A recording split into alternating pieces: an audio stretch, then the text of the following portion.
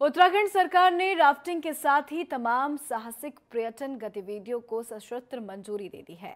लिहाजा अब एशिया का सबसे ऊँचा कहे जाने वाला मोहन चट्टी का जंप इन हाइट भी पर्यटकों के लिए खोल दिया गया है। ऐसे में बंजी जंपिंग के शौकीन अब राज्य में आकर इसका लुफ्त उठा सकते हैं। बता दें कि यम्बकेश्वर के मोहन चट्टी में अनलॉक के तहत करीब सात महीने बाद खुले जंप इन हाइट पर अब पर्यटक भी पहुँचने लगे हैं, जिससे इसका संचालन करने वाले तमाम लोगों के चेहरे पर मुस्कान आ गई है। अब पर्यटक उत्तराखंड में बंजी जंप, फ्लाइंग फॉक्स और स्विंग का आनंद उठा सकेंगे।